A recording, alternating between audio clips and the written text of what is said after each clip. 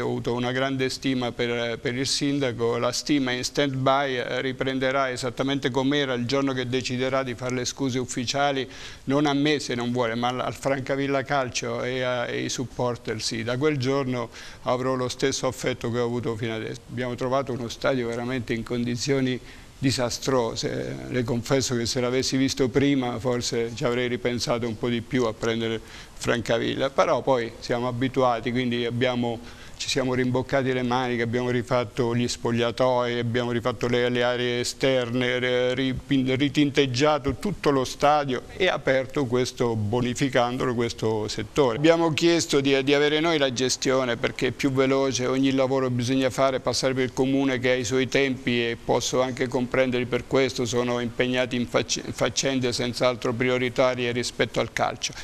Mm, dico che una città come Francavilla che vive di immagine, vive di turismo, eh, per lo stadio dovrebbe essere uno dei salotti, insieme con le piazze principali. Eh, il sindaco Luciani aveva detto di avervi inviato una PEC con la proposta di affidamento del Valle Anzucca. Questo è stato dopo la partita con la Vastese, quindi non eh, tempi recentissimi. Ah, quindi dopo, la, eh, dopo il problema? Eh, certamente, ah, okay. certamente. Trovo indegno aver trovato uno stadio in quelle condizioni e trovo brutta, ecco, non uso parole più pesanti, che si permanga nella disattenzione nel mettere a posto adesso che c'è una società solida con delle ambizioni che fa la D per la prima volta dopo 21 anni.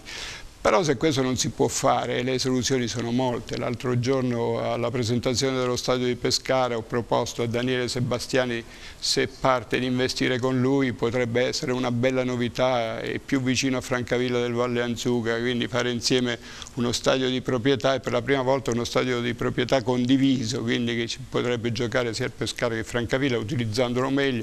Ci sono altre soluzioni. Se parla della Pescara Arena che è stata certo, presentata l'altro giorno, potrebbe avere anche una parte del perché Francavilla no? dentro. Perché no? Perché no? È una delle possibilità, potrei investire in questo stadio e potrebbe essere innovativo, dividere i costi ma avere anche dei ritorni maggiori. Noi abbiamo anche l'ambizione di, di passare tra i professionisti. Se il Comune fa quello che deve fare, quindi azionare velocemente per avere l'agibilità definitiva, se mancano dei lavori li facciamo, se mancano cinque lampioni abbiamo fatto così tante cose che impieghiamo due ore e mezza per installare cinque lampioni lì fuori.